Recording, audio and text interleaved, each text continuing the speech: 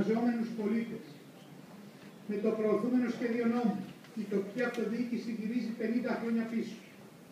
Η κυβέρνηση, χωρίς καμία προηγούμενη διαβούλευση με το ΣΟΤΑ, φορτώνει την ανεπάρκειά της στην τοπική αυτοδιοίκηση, την απογυμνώνει από τον συνταγματικά κατοχυρωμένο ρόλο της και τη θέτει σε διαθεσιμότητα.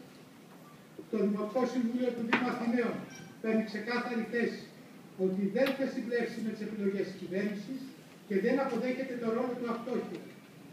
Εκφράζει απερίφραστα την αντίθεσή τους στι οριζόντιες, αυθαίρετες και άμεσες απολύσεις, αλλά και τη διαθεσιμότητα που προβλέπει το εν λόγω σχέδιο νόμου και εκπαραθυρώνει αυταρχικά άδικα και κυρίως αντισταγματικά χιλιάδες δημοτικούς αστυνομικού και σχολικούς φύλακες στον Δήμο Αθηναίων και την τοπική αυτοδιοίκηση γενικότερα.